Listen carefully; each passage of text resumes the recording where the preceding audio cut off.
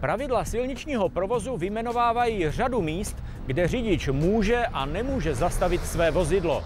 My se však zaměřujeme na situace, které vypadají nevinně, ale mohou způsobit velmi závažnou dopravní nehodu. Mnohdy jsou totiž řidiči schopni zastavit a třeba i odejít od vozu v místech, kde by to ostatní účastníci silničního provozu absolutně nečekali.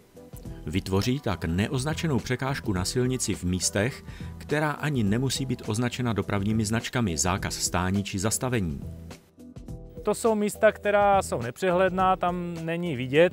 A pokud v nepřehledném místě nechám neoznačené vozidlo, e, není vždy ideální, e, e, nejsou vždy ideální podmínky pro brznou dráhu, takže na mokru, na, na zledovatele vozovce se nám brzná dráha e, prodlužuje a řidič, který nepočítá s nějakou překážkou za zatáčkou nebo v nepřehledném místě, tak e, může zase e, tím, jak se ulekne, tak zapomene na nějaké zásady, jak se má vlastně v takové situaci krizově brzdit, může v panice strhnout vozidlo do protisměru a způsobit třeba čelní dopravní nehodu.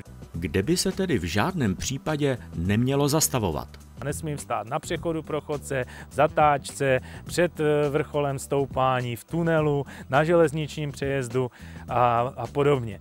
Jiná věc je, pokud vám vozidlo vypoví na těchto místech službu to, to nemůžu ovlivnit a tam, kde k tomu dojde, mám tedy ty povinnosti označení překážky a sebe hlavně a posádku musím chránit, čili když je to v nějakém místě skutečně nebezpečném, tak se snažím e, i ty e, pasažéry ve vozidle e, z toho vozidla dát nebo vyvést někde bokem za svodidla, aby nebyli v tom vozidle.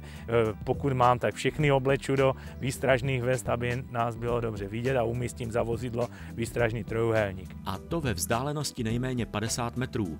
Na dálnici pak nejméně 100 metrů za vozidlem. Případů, kdy došlo k tragickým dopravním nehodám kvůli neoznačeným překážkám na silnici je mnoho.